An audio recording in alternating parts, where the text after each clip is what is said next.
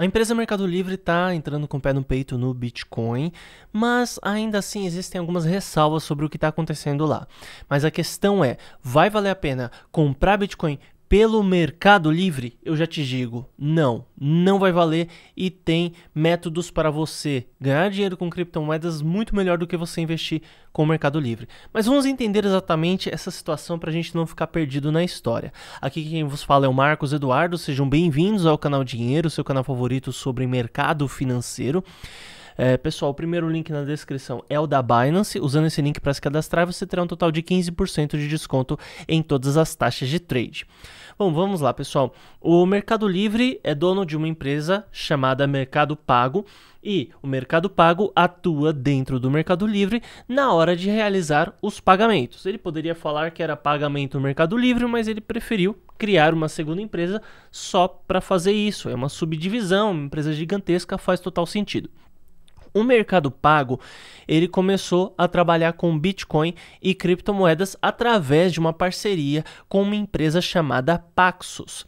E além de poder efetivar pagamentos com criptomoedas na hora de realizar a compra do produto, dos produtos dentro do Mercado Livre, também vai poder ser possível você investir. Então a pessoa vai poder comprar e vender inicialmente Bitcoin e Ethereum.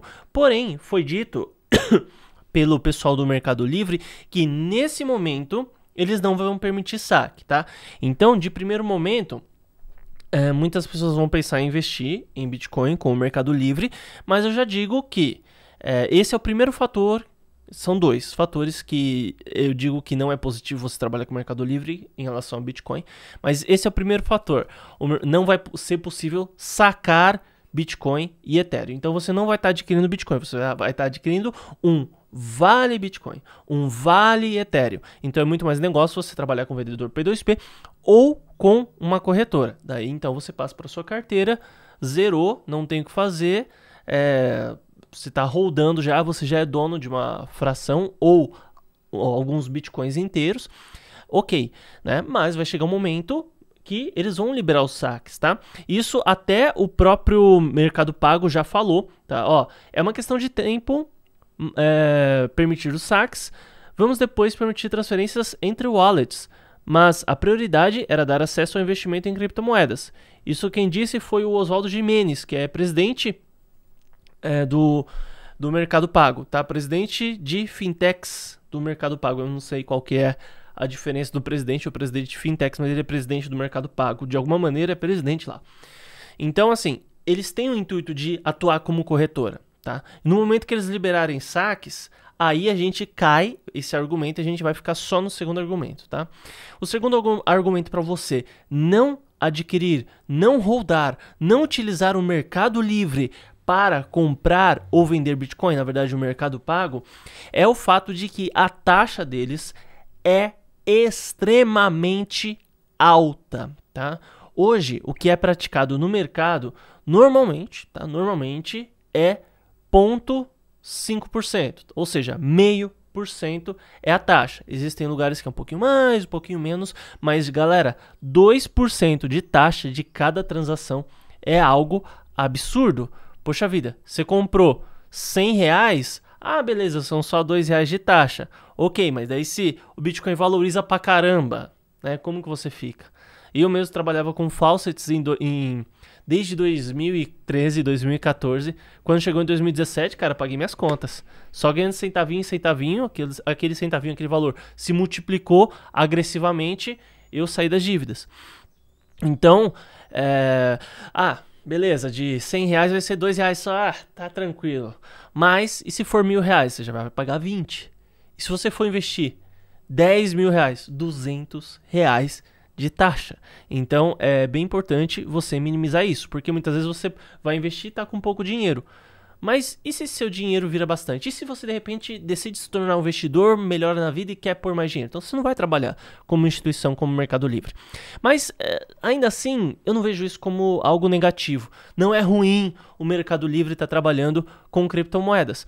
Gente, é algo muito positivo porque nesse momento, pelo menos no momento que estamos na humanidade, na nossa era, na, na nossa ordem, chamemos assim, o Bitcoin, as criptomoedas, eles estão trazendo liberdade, porque nós acabamos entrando dentro de um sistema que infelizmente somos aprisionados pelo Estado.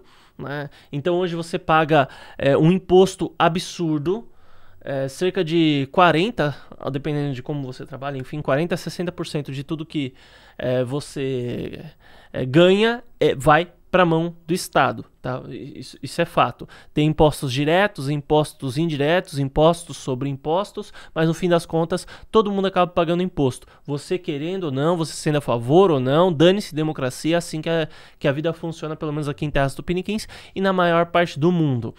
É, então, no fim das contas, é, isso é uma marra. Por quê? Você ainda paga imposto, você está inserido dentro do sistema, e esse sistema ele trabalha é, imprimindo dinheiro quando ele quer. Então, ah, existe uma crise, vai lá e imprime dinheiro. Ah, pode ser que tenha uma crise, vai lá e imprime mais dinheiro. Sempre que eh, e existem regras para ele fazer isso, regras que ele mesmo, que o próprio Estado escreveu. E quando o Estado ele precisa quebrar, parece até discurso de Dilma isso daqui, né? Eu sempre falo. Quando o Estado precisa quebrar uma regra, ele não quebra, ele modifica a regra para estar dentro da regra. Por isso que parece o discurso da Dilma, né? Saudoso estoque de vento, para quem se lembra.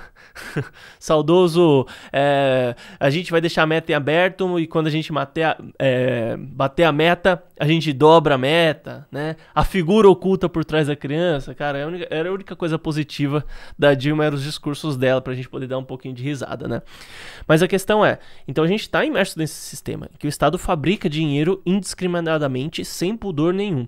Os bancos, eles é, têm tem muitos métodos de você não pagar taxa no banco, mas por via de regra, o cidadão padrão, ele paga. Tá? Eu também pago minhas taxas no banco, né? Eu faço assim como se fosse um cabresto, mas também tô imerso nisso. Eu não tenho como escapar 100%. Sempre vai ter uma situação que meio que você vai ser obrigado a pagar, ou então você vai gastar tipo um tempo absurdo para correr atrás disso, cara. Então, é, eu sou um cara que se eu, se eu puder pagar para ter tempo, eu pago. Para mim, realmente, tempo é dinheiro.